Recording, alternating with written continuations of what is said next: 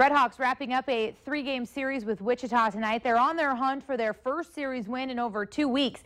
Inconsistency, a continuous struggle for the Hawks, and this series is no different. A dominating win in game one, a crushing blow in game two. Well, tonight, well, after combining for 20 runs in their first two games in this series, tonight would be a much different story as the pitchers reign supreme. Todd Kirby on the mound for the Wingnuts strikes out Keury De La Cruz here to hold the Redhawks hitless through the third. Redhawks starter Jose Almirante with a great start at Newman Outdoor Field as well, striking out seven through his eight innings on the night. Top of the seventh, the Hawks with a one-run lead on a solo home run.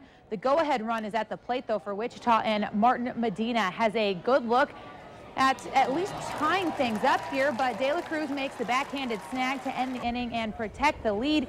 That lead stands as the twin as the Redhawks win 1-0 over Wichita and claim the series next. A four-game homestand against Gary South Shore. First pitch is tomorrow night at 7.02. Got a little eager there, but the